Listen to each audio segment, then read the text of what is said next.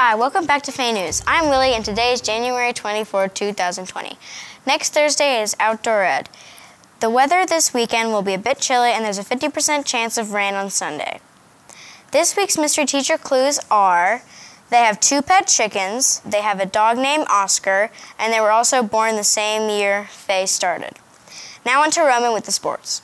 Hello, I'm Roman with the sports.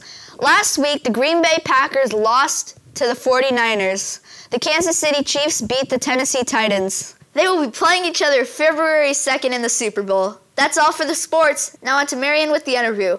Hi, I'm Marion with Fay News, and I'm here interviewing Amina and Haley with recycling. What do you do each week with recycling? So we have a rotation. So we go to Fondren and Fay House one day, elementary building another day, and like um, where like first grade used to be in the technology room another day, and we just kind of get all the recycling, clean it out, and all that stuff.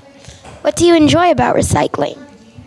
Well, you get to um, you get to go around the whole building, just like empty out everyone's recycling, and it's actually surprisingly kind of fun. Where do you take all of the recycling material?